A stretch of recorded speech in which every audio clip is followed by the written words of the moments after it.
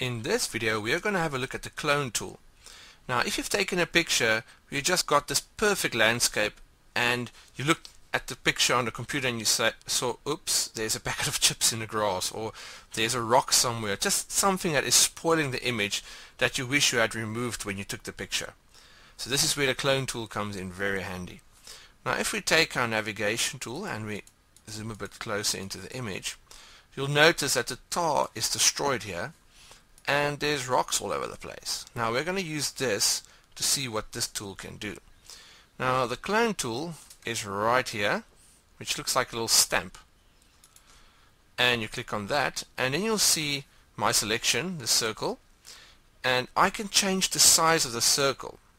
Now this is very handy that you can basically go to say this rock right here and make it the size of this rock. Now normally you would go to the scale here choose a different size, go back and say, oops, that's too small, make it a different size.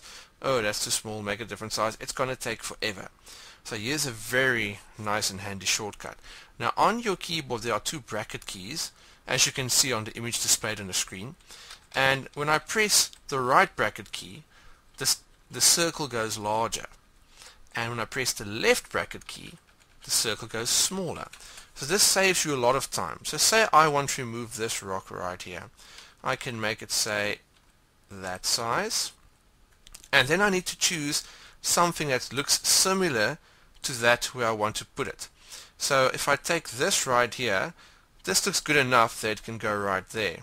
So I go to the open space that I want to use. I want to copy base, I want to clone it. Then I need to control and click to make a sample of that area.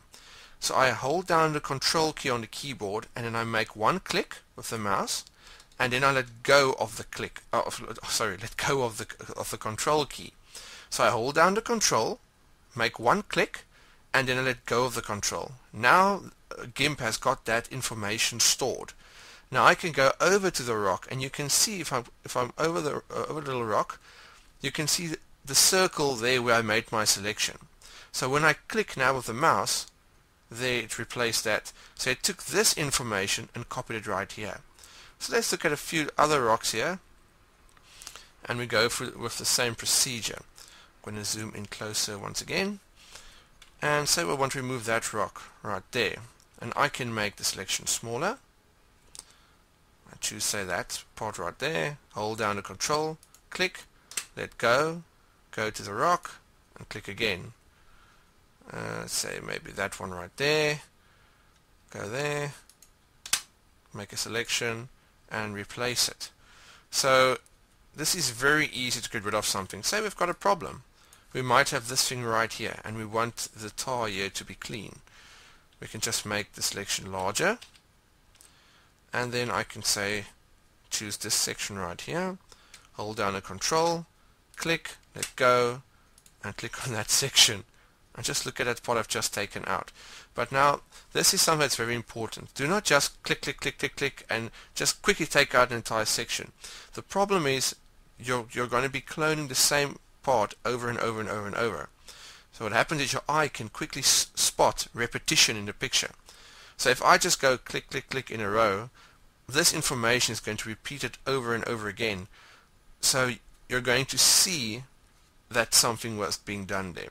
So what you need to do is, if I chose that section for this right here, I need to say maybe choose this section now, make a sample there, and then clone that in there, so that you can't see that it's been done.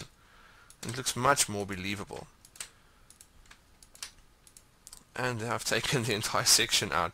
And even if you look at stuff like this, where we've got this big hole right here, it's very easy to do. I just make my brush size the size of that which I want to replace. And I look for, for information that looks similar. For instance, I would like to have this section here. Then I just go to it, hold down the control, click, let go, and I just go click on that section right there. Now, when I said it repeats everything, if you look right there, my mouse pointer is, and right there, those two sections are similar. Now if I just go click, click, click, there it's again, there it's again, and there it's again. Now, when you look at this picture, you're going to notice that repetition. So I would say rather go make different selections, like maybe there, and put that one there, and maybe there and put that one there and start to create texture so that people don't notice. Yeah, I've gone too far into that color there so you can see the smudge. I'm just going to use maybe that section right there. Just take out that bottom part again. So you can create the texture that you want to make this look very believable. And that's all there is to the clone stamp tool. And um, I'll see you in the next video, which is on the healing tool.